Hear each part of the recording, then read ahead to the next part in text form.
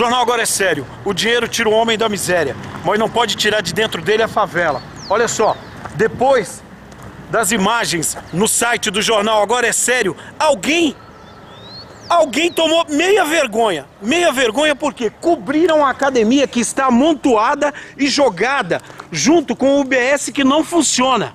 Olha só, academia jogada à frente de uma UBS que não funciona.